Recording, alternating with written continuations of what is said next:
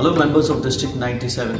Toastmasters gives you this wonderful platform where you can experiment, explore, and enjoy as you become the speaker and the leader you always wanted to be. With Pathways, the journey has opened up wonderful opportunities for each one of us.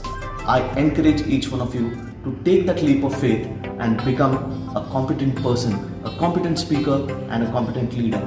In your journey, we are with you. Looking forward to seeing you all completing your levels and paths with Pathways. Trust me, and I'm looking forward to seeing all of you achieve excellence in your journey to be a better leader, a better speaker. Cheers.